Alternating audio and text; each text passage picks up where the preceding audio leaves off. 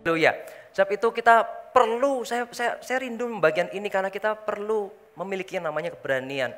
Berani untuk hidup benar, berani untuk hidup kudus, berani untuk berbeda dari dunia ini. Berani untuk tampil beda, bukan beda yang aneh tetapi berani untuk hidup menyenangkan hari Tuhan, berani untuk ngambil keputusan-keputusan ketika kita ada di persimpangan-persimpangan jalan tapi keputusan kita buat adalah keputusannya bukan atas keinginan kita tapi kerinduan hati Tuhan. Berani untuk berdoa. Berdoa yang bagaimana berdoa yang seperti Yesus ajarkan, seperti Getsemani itu, dia bergumul tapi sekiranya cawan ini berlalu, bukanlah tapi bukan kehendakku tapi kehendakmu. Bukanlah kehendakku tapi kehendakmu yang jadi. Jadi berani berdoa yang seperti itu menyerahkan keputusan karena Tuhan, keputusan akhirnya pada Tuhan karena Tuhan yang tahu yang terbaik dalam setiap kehidupan kita. Katakan amin jemaat. Ya. Nah, sebab itu kita belajar sama-sama tentang boldness ini, tentang keberanian ini uh, dalam satu ayat firman Tuhan di Kisah Para Rasul pasal yang ke-9 ya. Kisah Para Rasul pasal 9 ayat yang 10 sampai yang ke-18. Ayat 10 sampai 18. Oke. Saya akan bacakan di, di PPT juga sudah saya siapkan, jemaat menyimak ya, demikian firmannya. Di Damsik ada seorang murid Tuhan yang bernama Ananias. Firman Tuhan kepadanya dalam suatu penglihatan, Ananias. Jawabnya, ini aku Tuhan. Nah saya senang sih, ini berhenti sejenak ya di ayat ini. Saya berdoa ini Ananias itu murid biasa, bukan nabi besar. Dia pun tidak ada tulisan kitab yang ditulisnya. Tapi menarik loh, Ananias ini juga dipakai Tuhan. Seorang murid ya, yang dipakai Tuhan untuk akhirnya meletakkan tangan atas Paulus, Saulus yang waktu itu mengalami perjumpaan dengan Tuhan terang yang begitu terang itu membutakan dia, dia sujud menyembah Tuhan. Tiga hari tidak bisa melihat dan tiga hari itu Saulus itu berdoa ya dan dan tidak makan tidak minum begitu. Nah Tuhan menampakkan diri dan penglihatan kepada murid Tuhan ini. Saya berdoa kita penuh dengan karunia itu. Tuhan berbicara, Tuhan menyatakan kehendaknya dalam kehidupan kita. Dan ketika dia memanggil, maka ini loh kita belajar, ini aku Tuhan. Jangan jadi nggak dengar-dengaran lagi sama Tuhan, tapi itulah yang kita, kita ingini.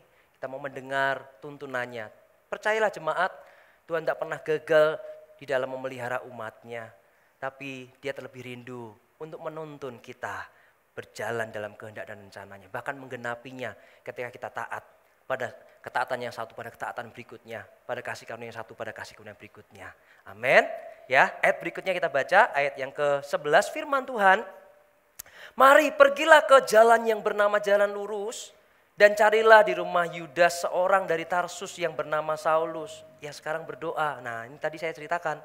Ya, Kemudian ayat yang ke-13 14 dan dalam suatu penglihatan ia melihat bahwa seorang yang bernama Ananias masuk ke dalam dan menumpangkan tangannya ke atasnya supaya ia dapat melihat. Jawab Ananias, Tuhan, dari banyak orang telah kudengar tentang orang itu, betapa banyaknya kejahatan yang dilakukannya terhadap orang-orang kudusmu di Yerusalem.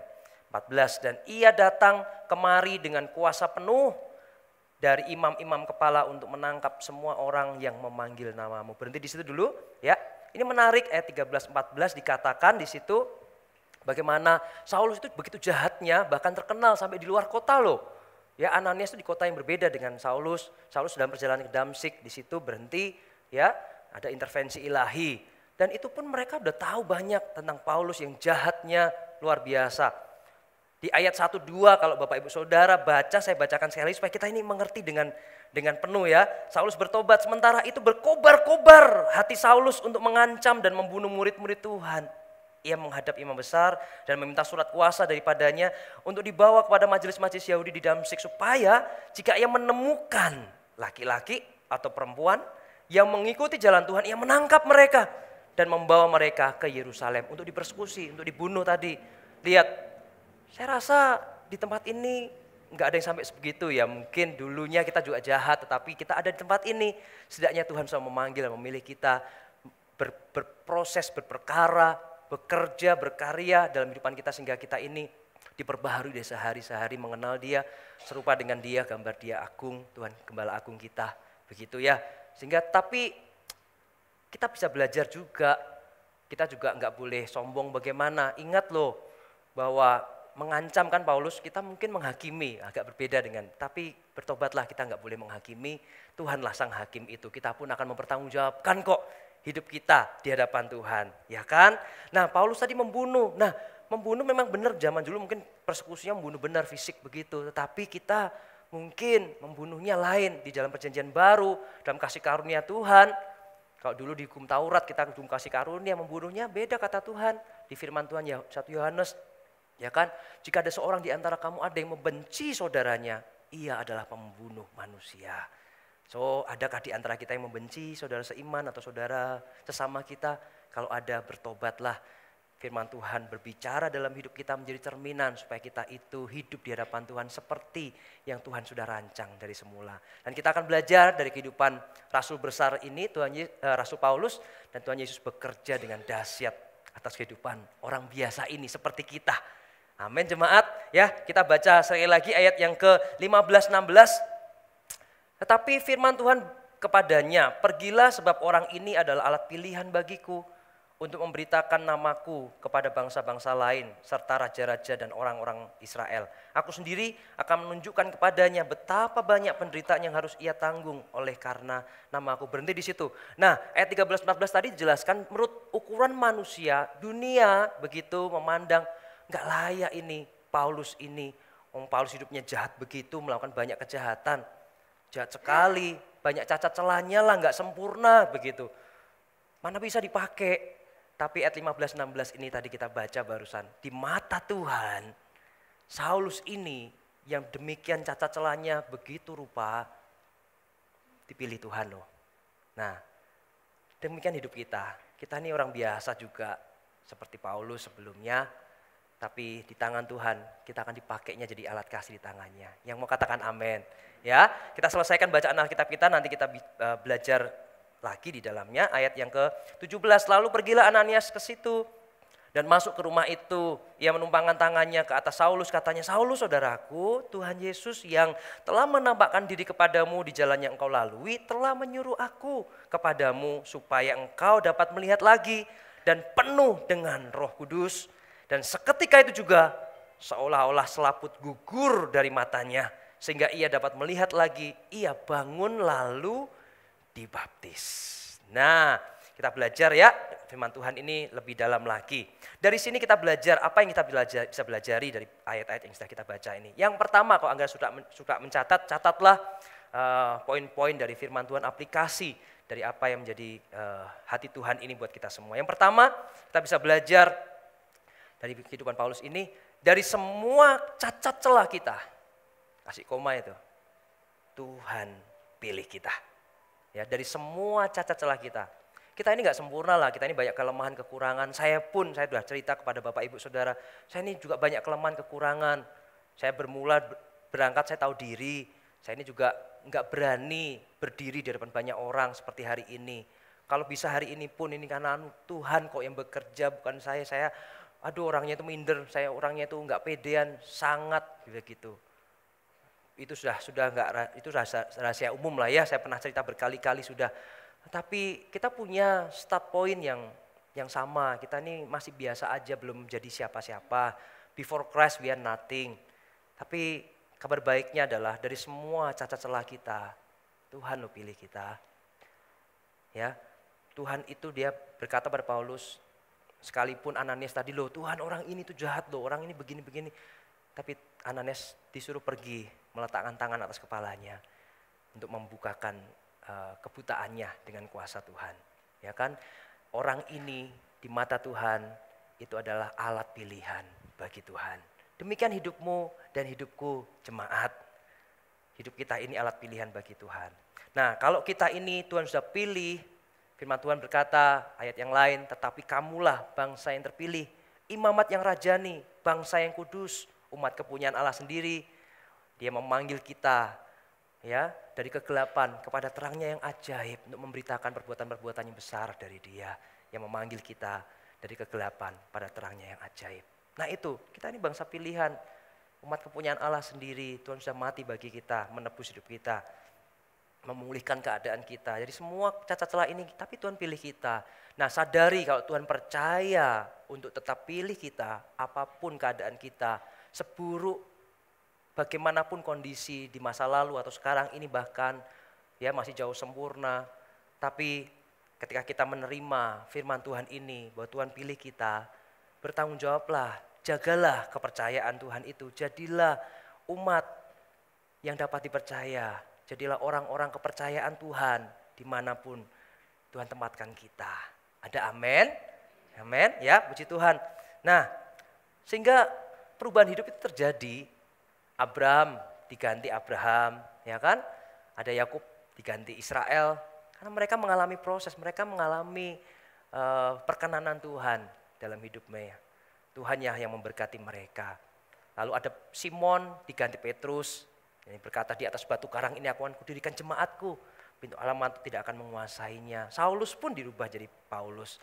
Kita akan menjadi manusia baru di dalam Tuhan. Jadi barang siapa dalam Kristus, ia adalah ciptaan yang baru. Sungguh yang baru sudah datang.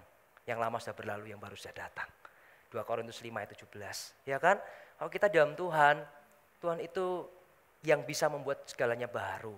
Dunia ini sudah lama ya di bawah matahari nggak ada yang baru. Tapi hanya Tuhan yang bisa membuat segala sesuatunya baru di dalam setiap hidup kita. Oke, nah saya membuat aplikasi. Saya bawa aplikasi. Yang pertama poinnya adalah kita belajar dari semua cacat celah kita. Tuhan pilih kita. Aplikasinya ada dua. Dari pemimpin dan dari jemaat. Begitu ya. Itu cukup mewakili kita semua di sini. Oke. Nah pemimpin, jika engkau sponsor, jika engkau CGL, jika engkau coach, jika engkau kadep departemen, jika engkau volunteers yang sudah melayani, jika engkau ketua grup apa di marketplace, engkau dipercaya, engkau lah orang pilihan lah istilahnya begitu. Ini aplikasi buat engkau, buat kita semua. Apa aplikasinya? Bahwa dari semua cacat celah kita, Tuhan pilih kita. Aplikasinya buat pemimpin, dengarkan baik-baik. Janganlah memimpin, namun dengan kehidupan lama.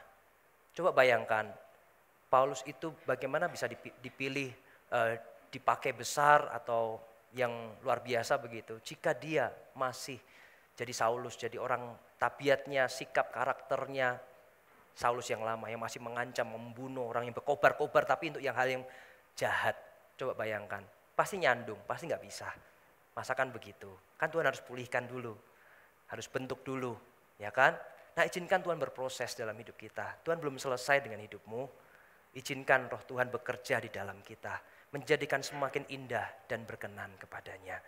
Ya, jangan pernah memimpin namun dengan kehidupan lama. Tapi dengan pengertian, dengan hikmat, dengan tuntunan Tuhan. Oke, yang kedua, pimpinlah orang-orang yang ada padamu, yang Tuhan percayakan dengan dengan kasih yang menggebu kepada Tuhan. Nah, ini loh, kata firman berkata, biarlah rohmu menyala-nyala dan layanilah Tuhan. Ya, roh kita menyala-nyala itu tujuannya untuk apa? Untuk melayani Tuhan. Kita mengalami demikian perjumpaan pribadi yang begitu menjamah, yang yang mengubahkan hidup kita, ya, yang yang yang berpengharapan begitu, yang sebelumnya kita juga hopeless, tidak ada siapa kita, aduh mengasihani aku ini orang paling malang. Padahal kita itu tinggal di Magelang, Tuhan punya rencananya, indah, khusus, sesuatu yang besar Tuhan sediakan buat kita. Tapi ayo jangan batasi Tuhan bekerja di dalam kita. Ya, so pimpin mereka dengan kasih yang menggebu-gebu dengan roh yang menyala melayani Tuhan melayani umatnya. Begitu. Ya, yang ketiga aplikasi buat pemimpin adalah jadilah pemimpin yang menjadi teladan. Teladan dalam segala perkara, sikap kita, kata-kata kita, dalam uh, hikmat ya, dalam dalam dalam keputusan-keputusan dalam perilaku, dalam kesucian hidup, ya dalam segala sesuatu. Jadilah teladan buat mereka. Oke, nah sekarang aplikasi buat sisinya jemaat. Dari semua cacat celah kita, Tuhan lo pilih kita. Hai jemaat yang Tuhan kasihi, Tuhan sayangi, Tuhan berbicara dalam hidup kita hari ini. Ketahuilah bahwa apa pun latar belakangmu, seburuk apa pun masa lalumu, hidup kita itu sebagai alat pilihan Tuhan. Di tangan Tuhan kita akan menjadi kemuliaannya, ya kan? Mungkin rusak uh, apa alat musik atau handphone atau apa yang pernah diciptakan manusia mungkin rusak, tapi di tangan Sang Pencipta itu bisa menjadi luar biasa. Ya bisa berfungsi kembali bahkan bisa ada fitur baru lagi ya yang ditambahkan karena Sang Pencipta tahu begitu hal yang perlu di dalam ciptaannya. Demikian Tuhan dalam hidup kita. Oke. Nah, berikutnya apa? Kita tidak yang tidak layak namun dilayakkan. Jemaat, kita harus sadar, harus ingatkan diri kita. Apalagi sebentar kita nanti kan ambil bagian dalam persekutuan tubuh dan darah Tuhan kan. So, so ingatkan diri kita, ini menjadi peringatan bahwa hidupku itu bukannya aku lagi. Hidupku ini sudah menjadi milik Tuhan, sudah dibayar lunas. Ada, ada pribadi yang mati buat kita, yaitu Yesus Tuhan. Ya, jadi jangan hidup bagi diri sendiri lagi, tapi hiduplah bagi Tuhan. Kita selalu mengerti bahwa kita ini tidak layak. Dulu bukan siapa-siapa, nggak disebut umat, tapi sekarang disebut umat, umat pilihan lagi. Imamat rajani bahkan. Ya kan? Kita bahkan diangkat tuh jadi anaknya. Kalau anak kan punya hak waris, kita mewarisi kerajaan. Wow, mulia sekali. Ya, jadi makna hidupmu, hidupmu berarti, berharga karena Tuhan mengasihi. Katakan amin. Ya berikutnya dari si jemaat adalah Tuhan itu mau menjadikan setiap kita, setiap proses di hidup kita, yang kita ini belum sempurna begini, Tuhan masih proses terus ya, diperbaharui dari sehari ke sehari. Karena sebab itu kita dengar firman Tuhan, jangan jauh-jauh, datanglah mendekat. Maka Tuhan akan berbicara dan bekerja dan menyatakan kehendaknya. Ya, dipertegas, diperteguh panggilannya dalam hidup kita. Sehingga tidak ada penyesalan di dalamnya. Dan semua proses itu kita alami, kita terima dari Tuhan semata-mata tujuannya adalah untuk menjadikannya hidup kita itu, proses Tuhan itu sebuah kesaksian yang indah bagi namanya. Amin jemaat. Ya itu dia. Oke puji Tuhan ya itu baru poin satu. Kita belajar dari renungan firman Tuhan hari ini. Dari semua cacat celah kita Tuhan pilih kita. Nah poin yang kedua yang saya mau bagikan buat kita adalah hargai panggilanmu. Ya, hargai panggilanmu. Hargai panggilanmu. Sesuai dengan aplikasinya, jadi sisi pemimpin dan sisi, sisi jemaat. Dari sisi pemimpin, kita itu harus mengerti bahwa Tuhan sudah panggil kita. So kita harus hargai kepercayaan Tuhan. Nafas ini loh Tuhan beri. Ya kan? Setiap nafas berhembus, setiap jantung masih berdetak, kita harus hargai hidup ini. Kita bisa menyebut hari ini, kita harus hargai dan kita harus maknai hidup hari ini. Jangan sia-siakan, jangan berlalu begitu saja tanpa kita tanya kepada Tuhan apa yang kau kehendaki untuk aku hidup, untuk aku lakukan today, hari ini, ya Tuhan. Ya, jadi terus katakan itu kepada Tuhan setiap hari, daily, begitu. Tell me what you want me to do. Beritahukan padaku apa yang kau kehendaki untuk aku lakukan ya Tuhan. Nah dari si pemimpin, Jangan remehkan panggilanmu, hai pemimpin, kau masih sponsor, kau masih CGL, kau masih coach. Ya, semua dipercayakan talenta itu kalau kita setia, maka ditambahkan satu lagi. Kapasitas akan diperluas, diper, diperlebar lagi. Kan begitu, ya kan? Tidak usah iri dengan panggilan orang lain, panggilanmu itu mulia. Dan hanya dirimu saja yang bisa menggenapinya, orang lain belum tentu.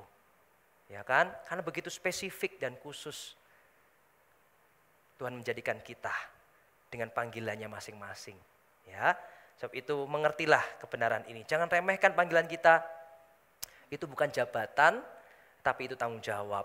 Tapi itu adalah fungsi. Dan panggilan itu harus kita kerjakan dengan sepenuh hati. Amin.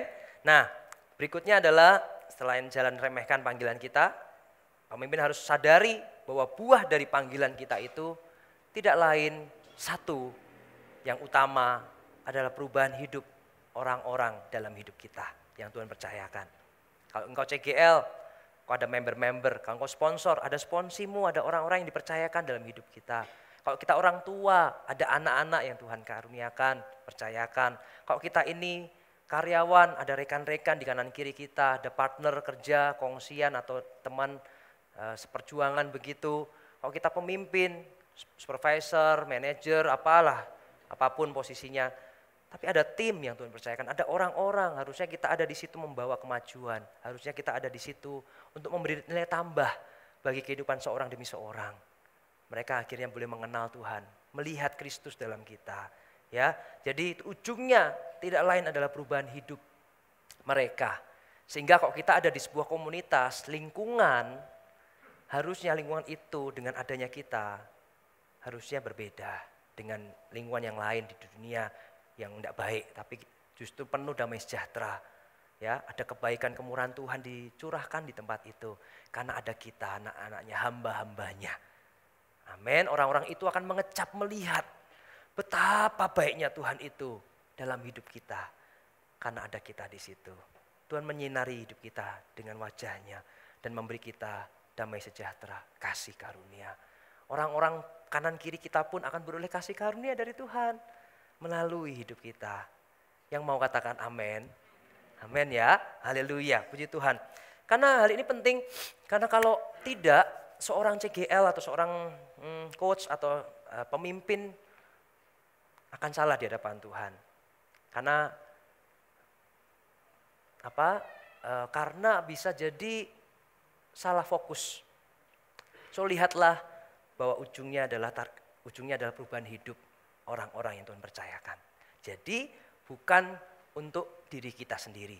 Jadi haruslah fokus kepada mereka orang yang di kanan kiri sekeliling kita. Layani mereka, jadi berkat buat mereka. Hidup kita harus jadi kesaksian buat mereka. Begitu ya, bukan nyandung, tetapi jadi teladan bagi mereka. Oke, supaya kalau kalau kita mengerti hal ini, maka kita akan membangun hidup mereka. Kita akan memberi nasihat, kita akan mendoakan, kita akan menjadi teladan buat mereka setiap hari. Ya, jadi bukan fokus pada kita, enggak, tapi fokus pada orang. Karena kalau kita mau dipakai Tuhan, maka kita harus selesai dengan diri sendiri. Kalau kita mau dipakai Tuhan, enggak boleh fokusnya pada diri sendiri. Kita harus mengutamakan kepentingan orang lain di atas kepentingan diri sendiri. Ya, lanjut lagi, ya, fokus pada jiwa-jiwa yang dipercayakan. Hai pemimpin, fokuslah pada mereka, jiwa-jiwa yang Tuhan percayakan sampai mereka mencapai potensinya. Gitu ya. Jadi kalau kita nih CGL sponsor, CGL coach gitu atau kadep atau uh, whatever kita tahu, semua orang tahu bahwa kita yang dipilih. Fokuslah pada orang-orang di kanan kiri kita, sekeliling kita. Ya, itu. Fokusnya apa? Untuk membangun hidup mereka, mencapai potensinya. Sampai rupa Kristus semakin nyata dalam seluruh kehidupan mereka. Nah itu dia. Oke, nah dari sisi jemaat sekarang. Dari sisi jemaat. Hargai panggilanmu. Jemaat juga punya panggilan loh. Kamu adalah garam dan terang. Kamu adalah murid Murid yang memuridkan pergi jadikan semua bangsa amanat agung itu diberikan pada orang percaya. Kalau kita percaya Yesus, ini semua berlaku buat kita. Ya, Tuhan Tuhan mau pakai kita. Kita yang banyak cacat celah begini aja Tuhan tetap pilih kita. Tuhan mau sih berpengharapan, ekspektasi Tuhan dalam hidup kita itu besar sekali. Ya, sebab itu beri ruang untuk Tuhan bekerja dalam hidup kita. Ya, supaya kita menjadi seperti yang Tuhan sudah rancang di hidup kita. Oke. Kita belajar dari uh, kehidupan Paulus ini. Yang pertama dari sisi jemaat ya kita semua, kita semua ada jemaat Tuhan. Kok bisa ya orang yang biasa begitu Paulus tapi kok dipakai Tuhan luar biasa. Demikian hidupmu bisa loh. Tuhan pakai besar. Karena Allah kita maha besar. Yang pertama ketahuilah ini kuncinya, ini poin-poin penting. Yang pertama adalah mau untuk dipakai Tuhan. Ya, mau untuk dipakai Tuhan. Sebelum kita mengalami perjalanan iman dan sebelum kita uh, menerima pemakaian Tuhan yang luar biasa, ketahuilah, sadarilah bahwa satu ini jalannya. Dimulai dari satu ini yaitu milikilah mau dipakai Tuhan. Hati dari hati yang mau dipakai Tuhan. Saya sudah menyampaikan pada jemaat berkali-kali juga, saya tahu diri, saya tahu perjumpaan pribadi saya waktu siang itu, minggu siang itu, ya, bagaimana saya dijamah Tuhan, mengalami Tuhan, saya diterima, saya disayang, saya di, dikasihi, begitu. Tuhan tuh baik banget, Tuhan sayang, saya sampai mencurahkan air mata, saya dipulihkan, dan kata yang terucap di dalam doa, di dalam linangan air mata, sebuah kerinduan di hati, karena saya begitu dikasihi, kata-kata itu, Tuhan, aku mau dipakai Tuhan. Tapi engkau tahu, lebih daripada orang terdekat sekalipun, aku ini banyak kekurangan, kelemahan. Tapi aku mau Tuhan, aku ini punyanya dua tangan, satu hati. Pakailah. Enggak, enggak yang dari yang lain, tapi biar dengan dua tangan, satu hati ini. Pakai ya Tuhan. Dengan berlinangan air mata siang itu saya katakan. Dan sampai hari ini Tuhan percayakan, Tuhan bawa sampai hari ini. Puji Tuhan, tapi itu mengingatkan bahwa Tuhan punya pengharapan yang besar. Tuhan mau pakai setiap kita apa pun kondisi masa lalu kita, hidup kita bukanlah berakhir di sana. Itu bukanlah ujungnya, itu bukanlah akhirnya. Tuhan mau terus bekerja sedang merendah sebuah karya yang indah dan mulia di dalam hidupmu. Ya, katakan amin. Oke. Nah, untuk jemaat tadi aplikasinya adalah hargai panggilanmu, jangan remehkan panggilan kita. Terus uh, mau dipakai Tuhan, karena tanpa Tuhan kita tidak bisa, tapi tanpa kita Tuhan tidak mau. Tanpa Tuhan kita tidak mampu, tapi tanpa kita Tuhan tidak mau. Kalau kita tidak mau, Tuhan tuh bisa loh pakai yang lain. Tapi saya berdoa di dalam nama Tuhan Yesus, demi kemurahan Allah aku menasihatkan kepadamu, hai umat, jemaat GMS Magelang tercinta. Berilah dirimu untuk dipakai Tuhan, karena demi, dengan demikian hidupmu tak pernah sama lagi. Kau akan menjadi inspirasi melampaui generasi. Kau akan melihat tangan Tuhan terulur dalam hidupmu. Perkara-perkara besar terjadi di hidup kita. Amin. Ya. Jadi itu dia. Nah, Matius 4 ayat 17 firman Tuhan, Matius 4 ayat 17 berkata, "Sejak waktu itulah Yesus memberitakan, bertobatlah sebab kerajaan surga sudah dekat." Bertobatlah sebab kerajaan surga sudah dekat. Kata sejak waktu itu penting sekali. Dan saya ketika mempelajarinya, waktu apa itu ya? Ada peristiwa apa ada waktu itu, sejak waktu itu. Sehingga sejak waktu itu Tuhan berbicara, berkata, memberitakan, bertobatlah. Sebab kerajaan surga sudah dekat. Ternyata dalam Matius 4 itu kan tentang pencobaan di padang gurun. Setelah Yesus dicobai di padang gurun, itulah waktu, sejak waktu itu. Ya, lalu peristiwa ketika Yesus mendengar bahwa Yohanes ditangkap. Yohanes yang mempersiapkan jalan bagi Tuhan itu ditangkap. Nah, sejak waktu itu. Oke. Lalu ada peristiwa berikutnya adalah ketika Yesus melihat setiap orang secara khusus melihat dua orang bersaudara namanya Petrus dan Andreas. Ketika melihat mereka, Yesus memanggil mereka, ikutlah aku, kamu akan kujadikan penjala manusia. Nah itu loh. Ya sejak waktu itu Yesus memberitakan tentang pertobatan, memberitakan tentang hal kerajaan surga. Ada waktu-waktu di hidup kita, maka Tuhan akan berperkara dalam kehidupan kita. Ya, so jika pada hari ini engkau mendengar suaranya, jangan keraskan hatimu, karena Tuhan hendak mengerjakan perkara yang mulia. Haleluya. Jadi seperti Yesus setia memberitakan Injil, demikian kita umat pilihannya, umat tebusannya. Untuk itulah kita hidup untuk menjadi saksi-saksi Tuhan di dalam seluruh kehidupan kita. Nah, dengan cara bagaimana kita menjadi saksi Tuhan atau memberitakan Injil, ya ada tiga, melalui teladan hidup sehari-hari, melalui perlombok cel atau CG, persekutuan atau connect group, ya, dan melalui kehidupan sosial kita. Oke. Nah, tentang Injil ini saya sudah uh, sampaikan firman Tuhan waktu uh, beberapa minggu lalu saya khotbah pemberitaan firman Tuhan dan kasih yang menyelamatkan. Karena keselamatan kita itu kasih karunia, tapi itu harus kita kerjakan. Kasih yang bertanggung jawab, keselamatan kita keselamatan bertanggung jawab. Kita harus kerjakan dengan takut dan gentar. Kita ini nggak percaya hyper grace, sekali selamat, selamanya selamat, lalu amburadul, lalu sembarangan hidupnya. Enggak kita percaya keselamatan kita, keselamatan bertanggung jawab harus kita kerjakan dengan takut dan gentar. So berbuahlah dalam hidup ini, karena Tuhan itu cari buah loh. Kalau kita nggak berbuah, pohon itu pun tidak disayangkan akan ditebang. Ya, karena Tuhan itu cari buah di hidup kita. Dia sudah memberikan putranya yang tunggal untuk mati buat kita. Jangan biarkan kematiannya sia-sia. Sebab itu pengharapan iman kita pun tidak pernah sia-sia. Karena Tuhan telah bangkit. Ya, itu dia. Wow, luar biasa. Ayo jadi teladan hidup dalam kehidupan kita sehari-hari. Ayo juga kita terkonek dalam setiap CG. Jika ada ada di antara kita yang belum ber-CG, pastikan setelah pemberitaan firman Tuhan ini Tuhan memanggilmu dan Tuhan mau menarikmu mendekat. Miliki komunitas yang rohani, yang yang tulus, yang murni, yang mau membawa kita mengenal dan hidup dalam kehendak Tuhan.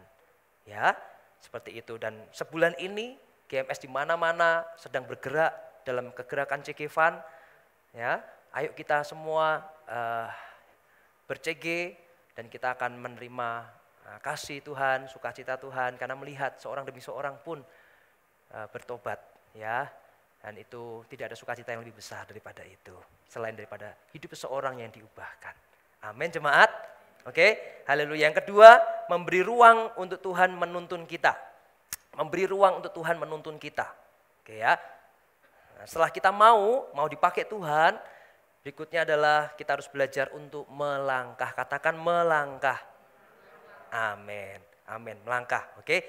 Nah, saya ada ilustrasi uh, menolong kita untuk memahami prinsip yang kedua ini ya. Uh, untuk memberi ruang untuk Tuhan menuntun kita aplikasinya melangkah. Jadi setelah mau kita harus melangkah. Tempatkanlah kata dalam sebuah panci di atas kompor, nyalakan dan panci itu diisi air. Lalu berjalannya waktu kan suhu air akan meningkat. Demikian tubuh kata juga akan menyesuaikan dengan suhu air yang meningkat. Tambah lama, tambah panas, itu pun suhu kata tubuhnya kata juga terus menyesuaikan dengan suhu suhu air yang terus tambah panas tambah panas. Tetapi kita semua tahu bahwa titik didih air ketika air itu mendidih ya 100 derajat begitu ya, di situlah kata tidak bisa menyesuaikan lagi. Di situlah kata itu mati. Ya. Nah, so kalau saya bertanya pada Bapak Ibu Saudara, kira-kira apa yang membuat kata itu mati? Saya merasa kita sepakat ya, mestinya air itu, air mendidih itu yang membuat kata mati. Tapi tidak sepeluruhnya benar. Karena sebenarnya kata itu bisa melompat sebelum titik didih air. Sehingga dia nggak mati di situ. Karena ketika dia terus menyesuaikan, dia terus bertahan di situ. Air tambah panas, panas, panas sampai titik didih. Nah ketika dia sudah tidak kuat lagi karena titik didih itu, dia tidak bisa mempertahankan lagi dia mau melompat, sudah terlambat. Sudah terlambat, sayang sekali. Nah itu sebuah gambaran, ilustrasi yang saya ceritakan, ini sebuah gambaran hidup kita, jemaat. Ya, Tuhan akan datang. Nafas ini nggak akan terus loh, akan kita uh, hirup begitu, jantung ini nggak akan terus berdetak. Kalau Tuhan panggil, tak seorang pun berkuasa bertahan. Kalau Tuhan panggil, sudah selesai kita. Tapi sebelum itu, kalau masih bisa menyebut hari ini, inilah hari perkenanan, apa yang kehendak Tuhan, responi, ayo ikuti. Seperti murid-murid tadi, seperti Saulus juga, ya Tuhan mau jadikan dia alat pilihan Tuhan. Dan di tangan Tuhan, Paulus luar biasa. Orang biasa seperti kita, jauh dari sempurna, jahat sekali bahkan. Bahkan kita mungkin gak jahat itu, tapi lain ya, tadi sudah saya jelaskan, membunuh maksudnya membenci saudara juga pembunuh loh, hati-hati.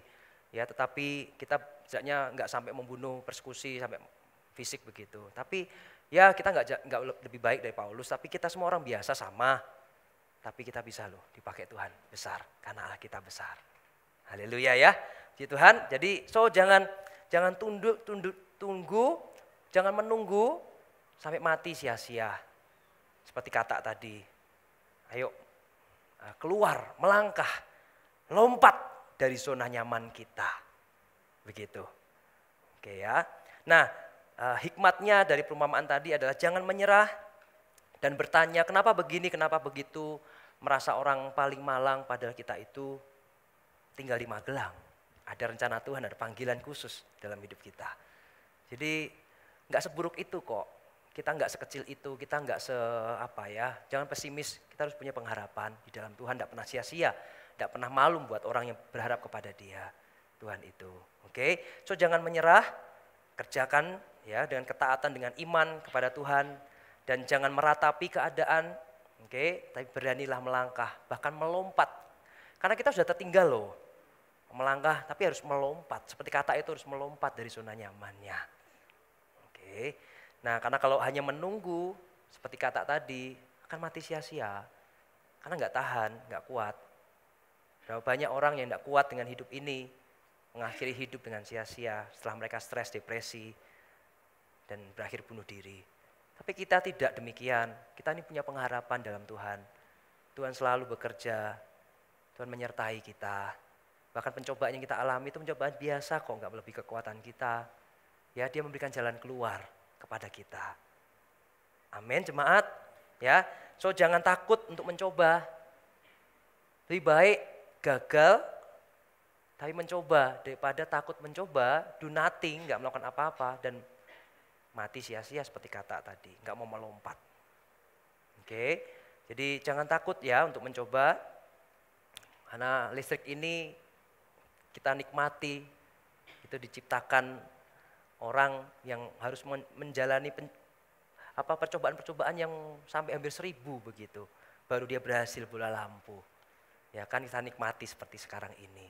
Bersyukur, jangan menyerah, jangan jangan takut ya, jangan takut untuk mencoba. Nah, kemudian yang ya, perhatikan kata-kata ini. Kata-kata ini Tuhan berikan berguna buat kita semua. Ya, dipakai Tuhan itu sesederhana belajar mengikuti tuntunannya atas hidup kita. Coba renungkan.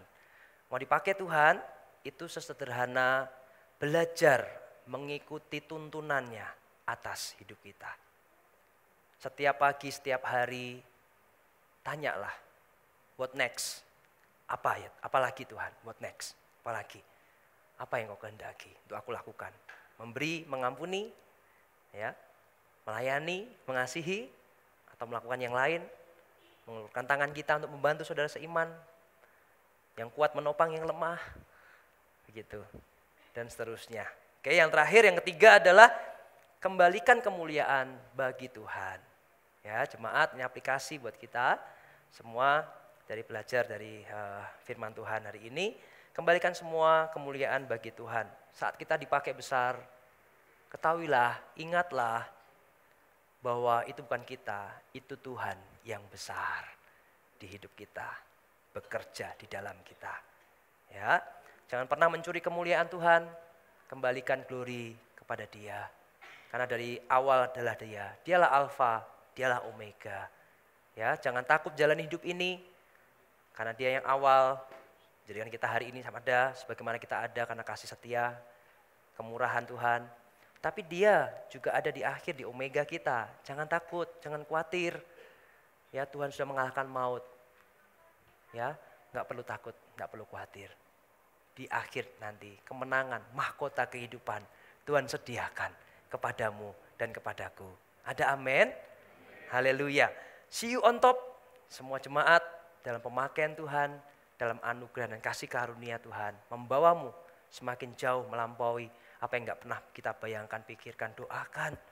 Tuhan terlebih rindu untuk memakai hidup kita menjadi alat pilihan bagi dia. Amin.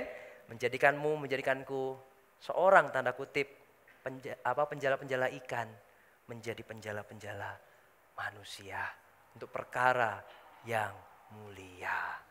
Tuhan memberkati kita semua. Mari kita satu hati dalam berdoa.